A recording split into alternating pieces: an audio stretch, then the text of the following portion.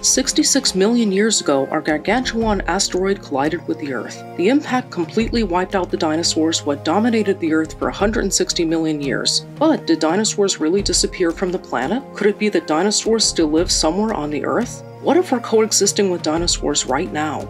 This isn't an imaginary story like Nessie, the Loch Ness monster discovered in Scotland. I am going to let you in on a marvelous scientific fact. In 1969, an American paleontologist, Professor John Ostrom, discovered a dinosaur fossil called Deinonychus. However, while studying the fossil closely, Professor Ostrom discovered an astonishing fact, which is that Deinonychus and Archaeopteryx had over 100 commonalities. Since at that time Archaeopteryx was known as the ancestor of birds, Professor John Ostrom concluded that modern birds may have evolved from dinosaurs. This revolutionary hypothesis that birds descended from dinosaurs was more than enough to excite the prehistoric science community. Thanks to Professor John Ostrom, the study of dinosaurs entered a new era. Supposing dinosaurs were the ancestors of birds begged several questions. Were dinosaurs cold-blooded animals? Is it right to classify dinosaurs as reptiles? with the mating and rearing habits of dinosaurs like those of birds? And so on. Dinosaurologists refer to this period as the dinosaur renaissance, and it was at this point where various similarities between dinosaurs and birds began to emerge. It was revealed that many dinosaurs walked on two legs like birds, developed air sacs in their bones which could hold air, and that the wrist bones of the dinosaurs could bend backwards, just as birds can roll back their wings.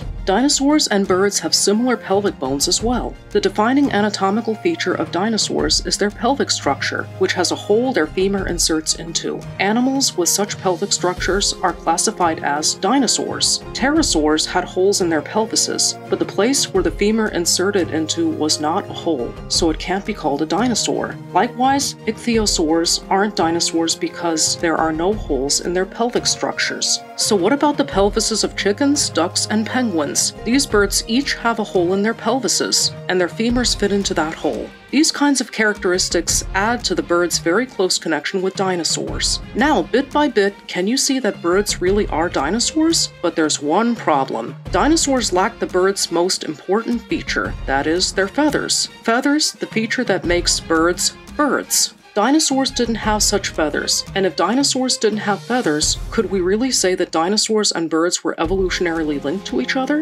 In 1996, when the notion that dinosaurs had no feathers caused many scientists to ponder, a shocking piece of news came from Liaoning province in northeast China. That's right, they discovered a feathered dinosaur fossil. Its name is Sinosauropteryx. If you look at the fossil closely, you can see primitive feathers extending from the head to the neck, back, and tail. And starting with Sinosauropteryx, hundreds of feathered dinosaur fossils were unearthed in nearby areas. Species like Protarchaeopteryx, Epidexipteryx, Sinornithosaurus, Beipiaosaurus, and Caudipteryx. Recently, as feathers have been found in fossils of not only small carnivorous dinosaurs, but also large herbivorous dinosaurs, it has been revealed that feathers were not a mutant trait, but rather a common characteristic among dinosaurs. So then, why did dinosaurs need feathers? Many scientists speculate speculate that the early feathers of dinosaurs were not used for flying, but rather as a way to preserve their body temperature to attract mates just like how today's birds use their colorful feathers to attract females. Some of the small carnivorous dinosaurs developed asymmetric feathers for flying, allowing them to survive the mass extinction event 66 million years ago and develop into modern-day birds.